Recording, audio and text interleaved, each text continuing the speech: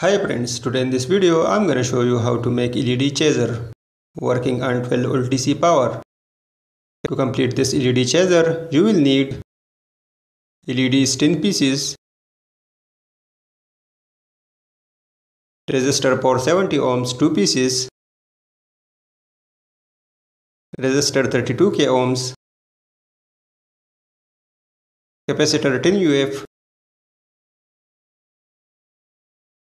triple five timer IC, jumper wires, and breadboard. Now let's make the circuit. Fix triple five timer IC in the breadboard. Connect pin 4 with pin 8 and pin 2 with pin 6 using jumper wires. Connect pin 3 with the positive pins of LEDs and connect pin 4 and pin 1 with the negative pins of LEDs using 470 ohms resistors. Now connect pin 2 and pin 3 using 32k ohms resistor and connect the negative pin of 10 UF capacitor with pin 1 and the positive pin with pin 2.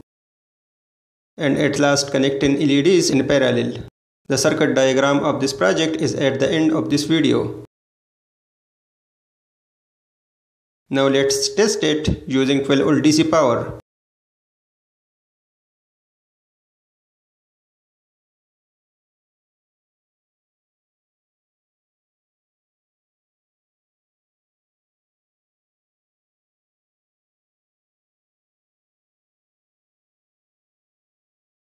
Please like, share and comments below and don't forget to subscribe for more such interesting videos.